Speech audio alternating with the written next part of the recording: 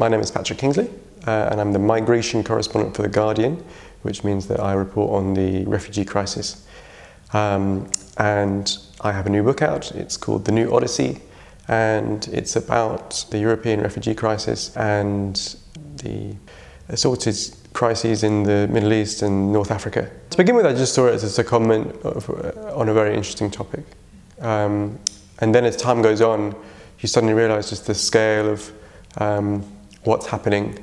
Uh, and I realized I was in quite a unique position uh, because I was the only migration focused correspondent, perhaps in the world, to my knowledge. Um, and I was traveling to all these different countries, meeting all these different people, and seeing very much a 360 degree picture of what was going on.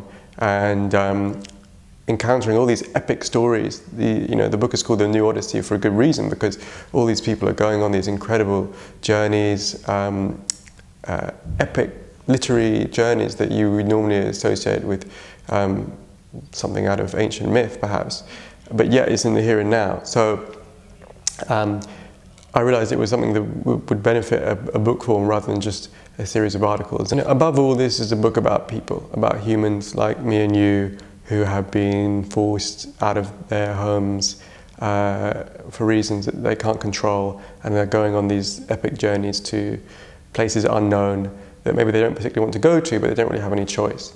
Um, and so this, there's one character in particular, Hashim, who um, we follow every other chapter, and, and we, we go to understand his motivations, his family, um, why he left Syria, and then we follow him as he goes across the Mediterranean and through Europe. Um, in the run up to the Second World War, when it was becoming clear that um, uh, there, was a, there was a Jewish refugee crisis in the 1930s, uh, Western countries met at a conference in Evian in southern France to talk about what they could do about um, uh, Jewish refugees. And they, after several days of meetings, they decided to do nothing.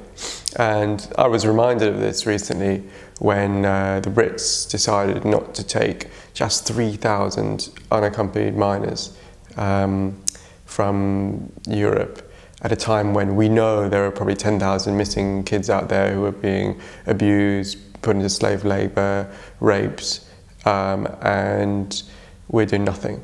So I feel like we're very much in, in that environment of people being turned back from borders, um, Europe, you know, the world's wealthiest con continent, deciding that it's, it's better to outsource this problem to countries that have got far fewer resources to deal with it. Um, and that's a real ethical crisis, and I think for that reason we need to take a long, hard look at ourselves and make sure we're not falling into the same traps that we fell into in the 30s. But it's not just an ethical problem. Uh, I think we're also making practical mistakes. I think there's, an, there's just as much a practical argument for, for establishing more formal routes for refugees to get to Europe um, as there is an ethical argument. It's not just about ethics, it's about the fact that people are going to keep coming whether we like it or not. And the longer we take to establish formal mechanisms for them to get here, the more chaotic it's going to be, and the harder it's going to be, not just for the people that are coming, but for the people that are already here, i.e., indigenous Europeans. When I said, look, you're not going to get asylum in Europe, they couldn't have cared less. They said, well, we are coming, you're going to have to find a way of making this work. Um, and so that, that's kind of my message also to Europeans, to Americans, to people in the global north.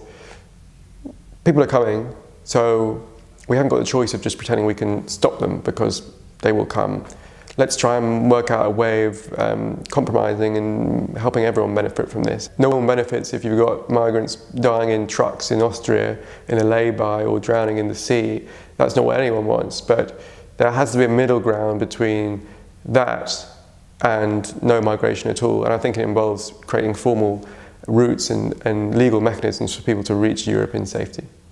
We need to realize that humans move. We always have, and we always will, um, it's basically the story of humanity that people migrate, people move between places, and you can't really stop them. So we might as well try and manage it a bit better.